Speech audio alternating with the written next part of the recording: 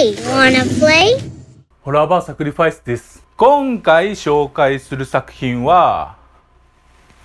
こちら。呪音終わりの始まり。この作品は2014年の日本映画です。呪音シリーズはビデオ版が2本、劇場版が2本、で海外版が3本、で番外編が2本、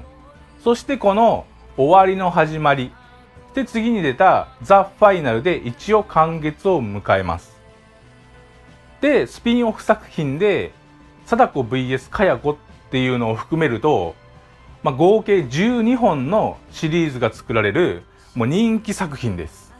今回の呪音終わりの始まりは次に出たザ・ファイナルの2本を合わせて、まあ、1作目、2作目、3作目の3つの話をもう一回練り直して作り上げたリブート作品になってます。簡単な、もうほんと簡単なあらすじを紹介すると、これより児童虐待が行われているとの通報を受けた家を訪ね確認を行います19年前、児童虐待の通報で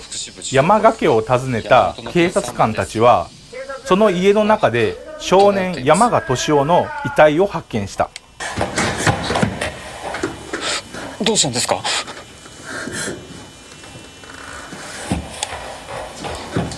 何も触らないでください。署に連絡してきます。何か見つかったんですか？男の子の遺体がありました。そして時は流れ、先生の名前は小野由衣と言います小学3年生の学級担任を急遽務めることになったゆいは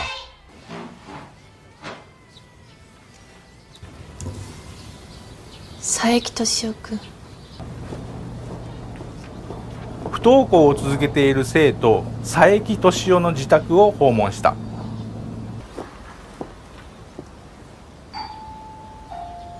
佐伯家に着きチャイムを鳴らすが返事はない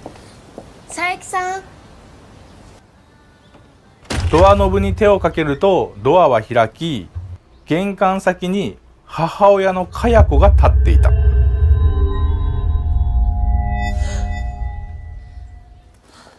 私敏夫君のクラスの担任をすることになりました。小野と申します。てな感じの始まり。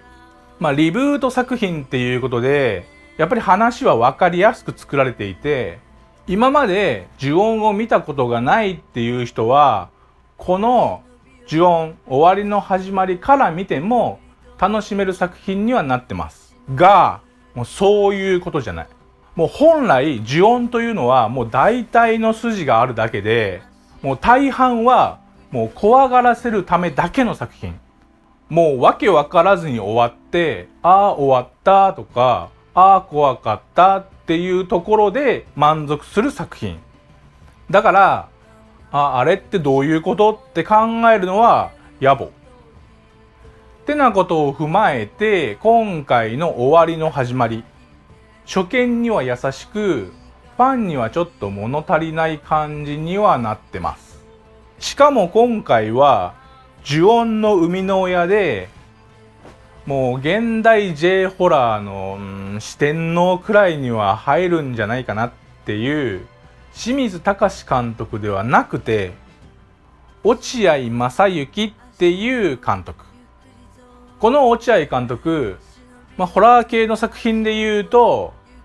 もうテレビドラマの「ナイトヘッド」や「えー、と世にも奇妙な物語」とか映画で言うと「パラサイト・イブ」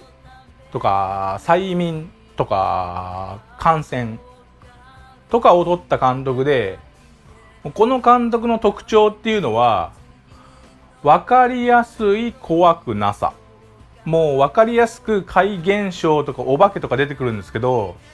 もうはっきり出てくるから全然怖くない。この落合監督がもう自由に作った作品で2004年公開の「感染。私血管の位置が分かりました。もう1回で打てます。何してるの？この作品は結構面白かったんですけど今回の「呪音終わりの始まりは」うーんあの名作呪音のプレッシャーにもう緊張したのかな？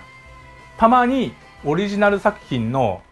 オマージュ的なシーンもあるんですけど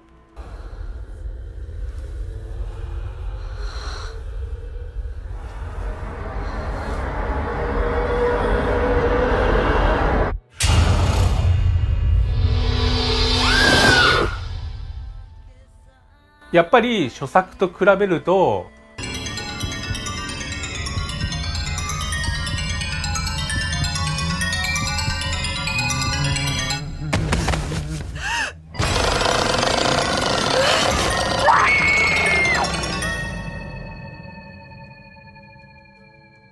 チープ感が漂います。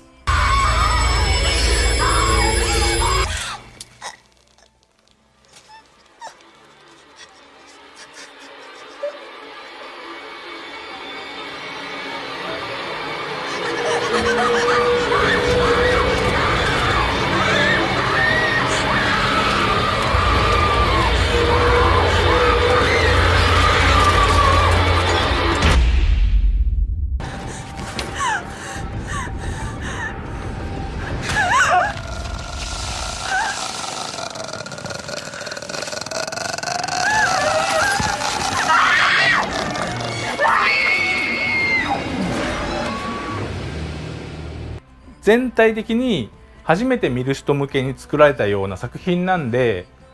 オリジナルのファンからしてみればもう小林くんがいないとかかや子がラスボスじゃなくってラスボスは敏夫とかなんかねツッコミどころは満載なんですけどその中でも一番気になったところはもうね呪音の家がおしゃれ。オリジナル版はもう小さなこじんまりとした家なんですけどこの呪音終わりの始まりはもうリビングとかがもうめちゃ広い。もう小さな階段だったのに今回の作品は天井にちょっとしたシャンデリアがついてたり階段も半螺旋状になったりでもうおしゃれな家なんでまあどうせならまあ、じめっとした小さな民家みたいなところが良かったなっていうところが残念です。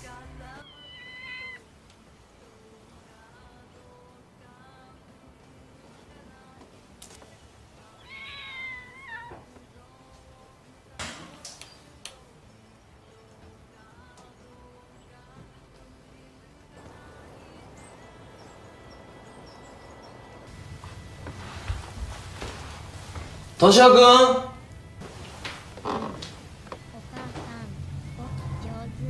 としおくんとにかくこの呪音終わりの始まりは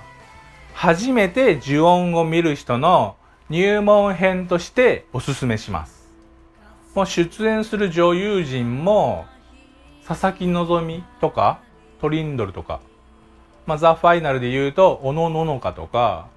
まあ綺麗どころばっかし出てるんでまあアイドル映画みたいな感じなんですけどまあその辺も見やすい理由かもしんないです。今回は呪音終わりの始まりの紹介でした。